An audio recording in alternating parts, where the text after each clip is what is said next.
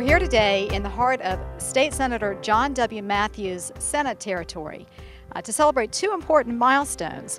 First is the ribbon cutting for the water tank that stands behind me that bears his name. And the second is to celebrate the 15th anniversary of the Lake Marion Regional Water Agency, which is the agency that built the tank. The event actually commemorates a very successful partnership between local, state, and federal officials, and all of them were here today to talk about it. Orangeburg has been held back because of the lack of good, safe water. Nobody wants to deal with that. But I always say, you know, you cannot solve a problem by avoiding it. Understand that economic development is based on infrastructure. Infrastructure is the platform by how we build an economy.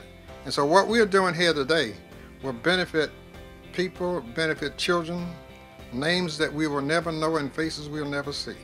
I want to encourage and challenge each and every one of us in whatever capacity that you are in to continue to be proactive because you got to remember that we are a team.